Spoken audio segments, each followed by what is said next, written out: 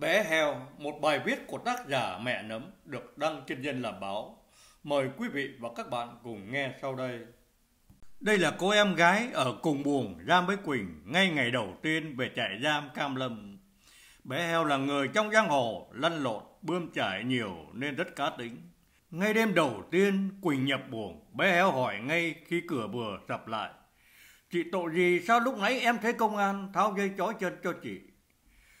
Quỳnh đọc một hơi không nghĩ, điều 88 Bộ Luật Hình sự tuyên truyền chống phá nhà nước Cộng hòa xã hội chủ nghĩa Việt Nam và giải thích là không phải Quỳnh bị buộc chân, lúc nãy công an gỡ sợi dây trong cái túi sách ra để dưới chân ra vì sợ Quỳnh tự tử. Phải mất cũng hơi lâu lâu mới giải thích được tội của Quỳnh đã phạm là gì cho bé heo hiểu. Vì với bé heo đó là một cái tội ở hành tinh khác tới. Những ngày đầu tiên Quỳnh hơi mệt nên ít nói chuyện, đến khi bắt đầu quen nhịp sinh hoạt, làm việc của điều tra thì hai chị em bắt đầu chia sẻ. Bé heo giỏi, rất thông minh, đầu óc biết tính toán. Ở nhà vì ngày xưa muốn học luật sư mà mẹ em nói chỉ đủ điều kiện lo cho anh trai nên đâm ra chơi bời. Khi giấc mơ của một đứa trẻ 13-14 tuổi bị giết chết vì lý do không đủ điều kiện thì khao khát phải biết kiếm tiền nhiều để không ai coi thường mình, khiến bé heo trở thành bà chùm Mỗi ngày đi, Quỳnh cũng đều kể cho bé heo nghe. Đến ngày nhận kết quả điều tra, bé heo đọc xong rồi nói, em nghe chị kể hay hơn nhiều. Hai con người, hai thế giới khác nhau, nên để hiểu và tin nhau cũng mất vài lần va chạm. Bé heo cọc cằn nhưng hiểu chuyện, nếu thấy mình sai tự khác sẽ nhận ngay. Trời lạnh, Quỳnh nhắn điều tra nói mẹ gửi mền dày hơn, cho Quỳnh không được. Mỗi đêm thấy Quỳnh run lật bật vì lạnh. Bé heo rủ hai đứa đừng ngủ trên phản đá mà hãy lót mềm mỏng xuống dưới, rồi dùng cái mền dày hơn để bé heo đắp lên trên. Cứ như vậy mà đi qua mùa đông. Bé heo cũng là người chứng kiến việc công an không chuyển thư, không bán băng vệ sinh cho Quỳnh. Ức quá không biết làm sao. Khi vừa mới gặp mặt gia đình, thứ đầu tiên mà bé heo xin mẹ là gửi thứ đồ thiết yếu đó cho em để đem vô chia cho chị. Bé heo là người bày cho Quỳnh tất cả các món chơi trong trại giam và dặn Quỳnh nếu chị sợ ra tòa mà tụi nó không cho nói thì bây giờ mỗi ngày chị phải tập lên đài tức là nói hay hát qua ô thông gió cho giọng tốt hơn.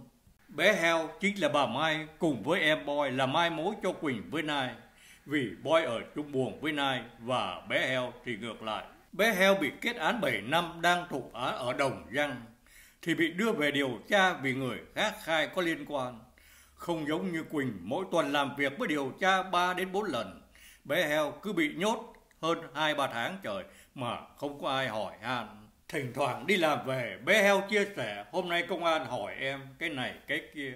Quỳnh nghe xong rồi suy luận, rồi nói lần tới công an sẽ hỏi liên quan đến người này ra sao, người kia ra sao.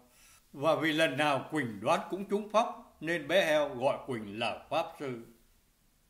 Bé heo thích học mấy bài nhạc tù mà Boy và Nai hay hát, nhưng không cách nào chép lại vì trong tù làm gì có giấy bút.